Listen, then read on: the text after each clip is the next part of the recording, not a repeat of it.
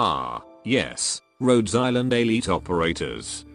Because of the world rampant discrimination against the infected, it is necessary for Rhodes Island to have their own military forces, acting as a security for their personnel and patients, and will use their paramilitary forces for things still associated with the infected, like stopping reunion movement from invading the city of Lungmen. Inside the paramilitary forces, there's a branch called Rhodes Island Elite Operator. They are some kind of special forces unit for Rhodes Island. The majority of the individuals in it is someone with an extraordinary combat skills. But some others have a unique skills that's not really suitable for combat.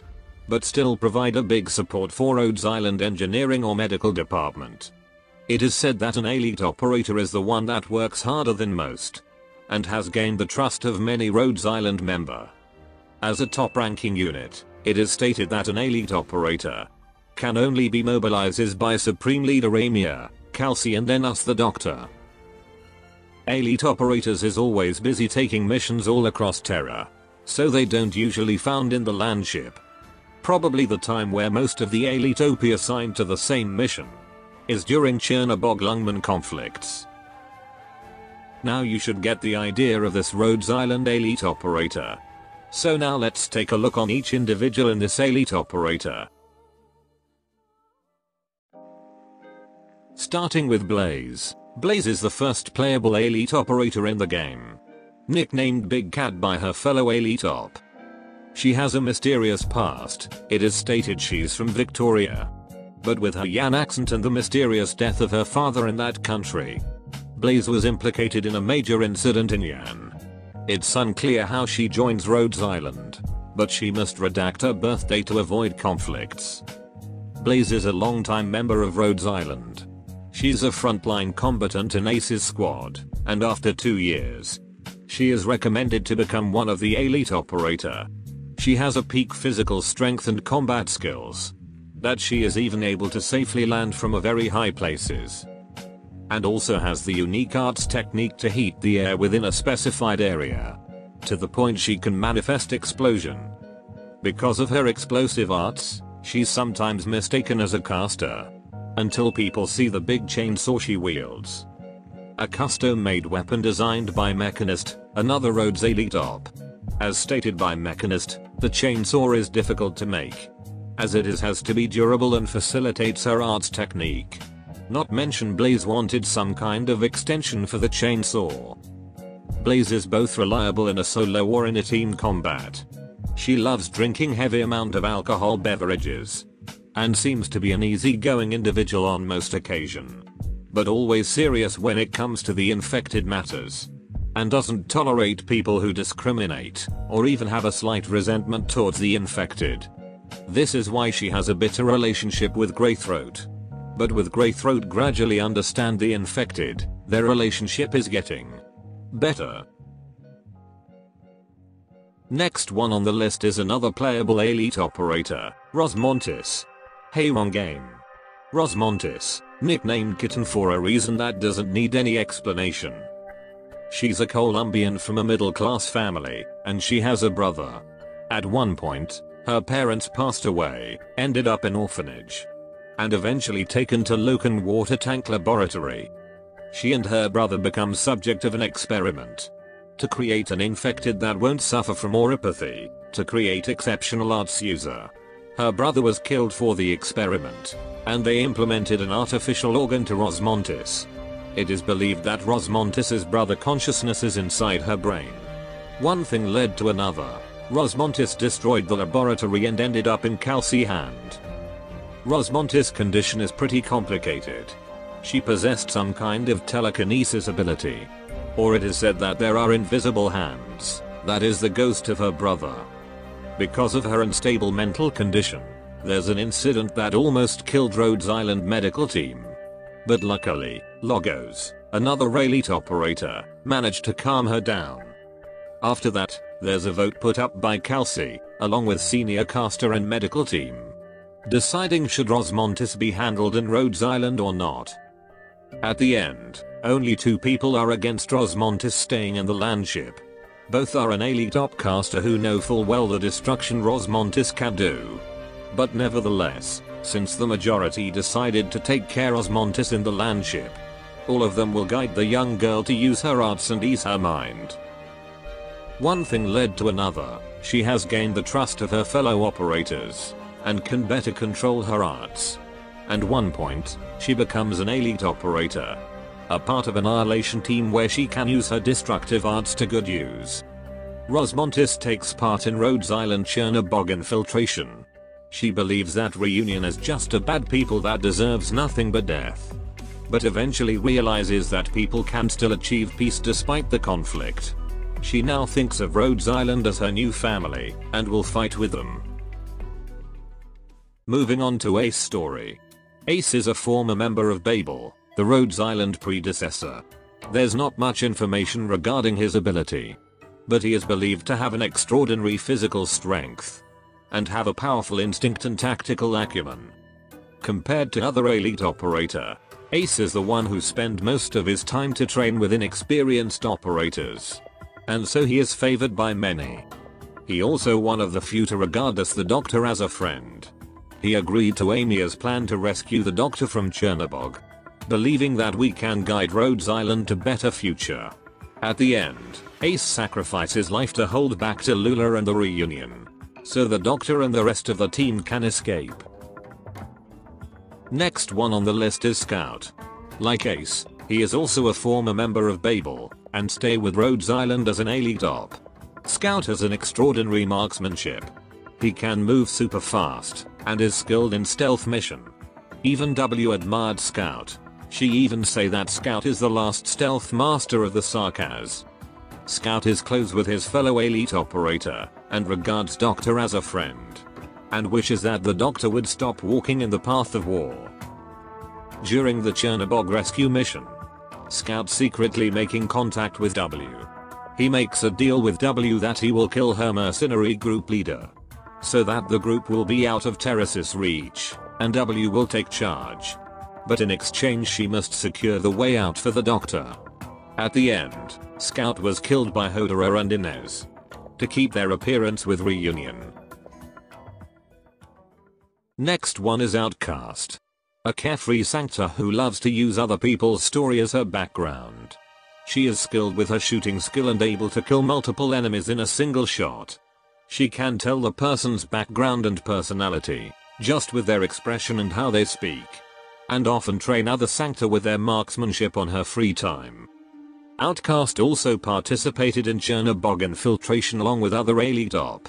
Providing recon for the team. Almost a year after the events of Reunion attack on Chernobog, Outcast is ready for her retirement. But decided to take one mission to investigate Hillock County. In the preparation for Rhodes Island entering Victoria. But a sudden uprising happened, causing many casualties. In the midst of the fighting, Outcast spotted an injured Reed.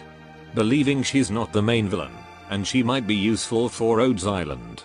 She takes her to Bagpipe so she can bring her to safety. While Outcast stay back and fights the enemies alone. At the end she sacrifices herself to kill enemies elites. By shooting all of the 6 bullets in her gun. Which causes Laterano judgment to fall upon her. A bright light coming from the sky, burning Outcast and everything near her.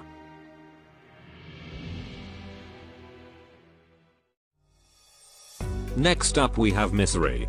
Sam Fisher of Arknights. Misery is an assault operator, who is stated to be a pessimist and gloomy operator. Is implied that he was once failed to persuade a peace treaty between two towns, and it ended in massacre. There's no clear information about his arts technique. But in the events of episode 10, he is believed to possess a space manipulation arts. Or illusion arts, where he can or make it seems like he control the space and manipulating an object's density. His abilities are still unclear, but without a doubt he is a skillful fighter. Even Blaze said he could wipe problems just by waving his hands. He is a good friend with Outcast, and her death angered him. And demanding Kelsey to make Rhodes Island enter Victoria as soon as possible. He is also the one who is responsible to bring back the trio of Abyssal Hunter.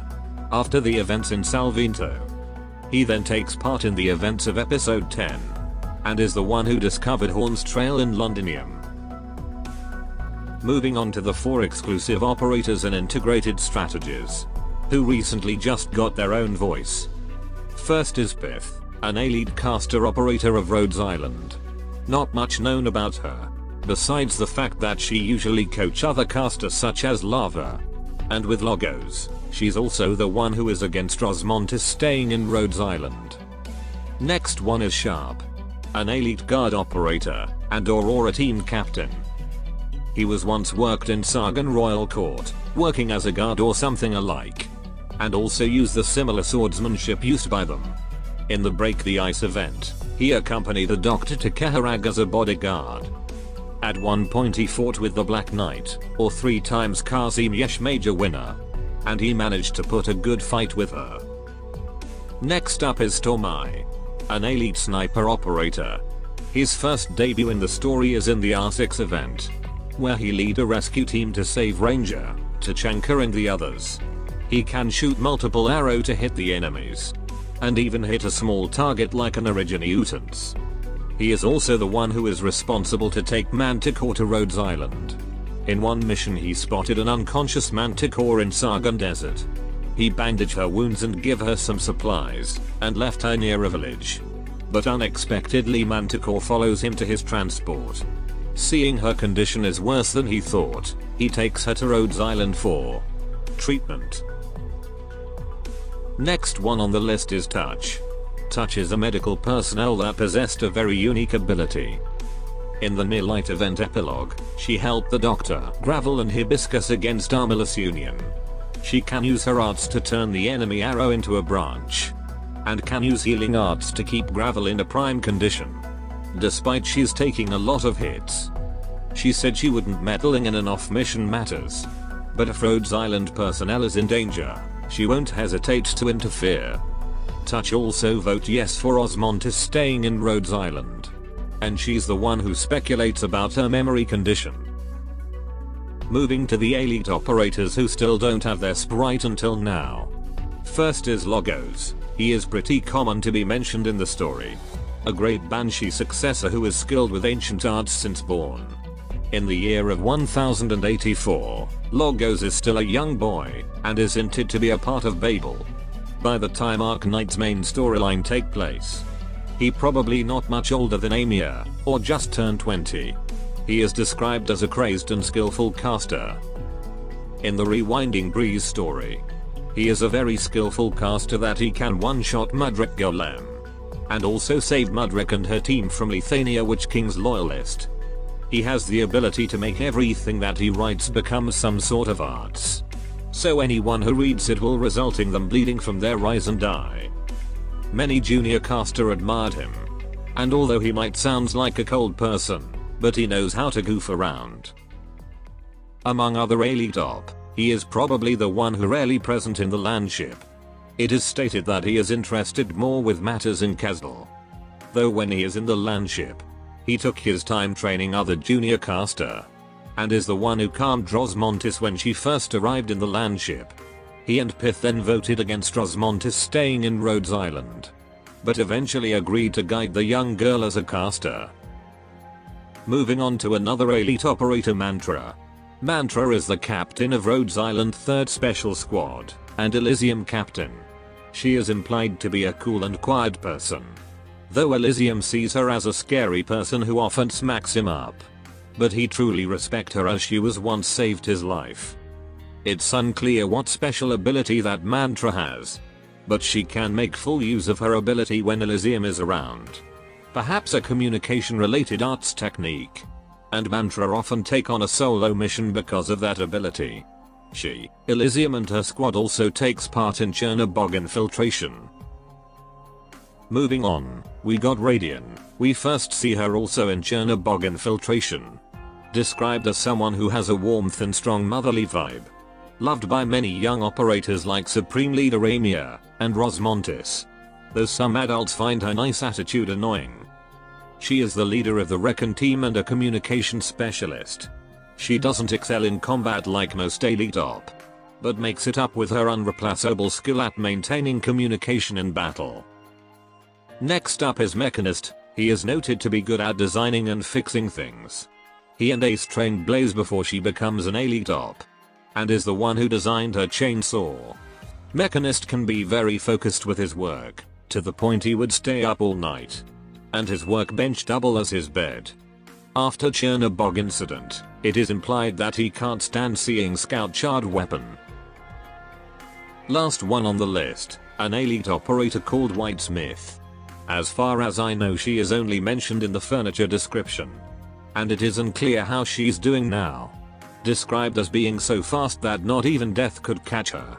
Until she did finally slow down. Well, if she ever appears in the story, prepare for the worse. This is definitely a death flag. Rhodes Island Elite Operator sure is interesting. I hope we'll get new Elite Operator as the playable characters. That should be all. Adios.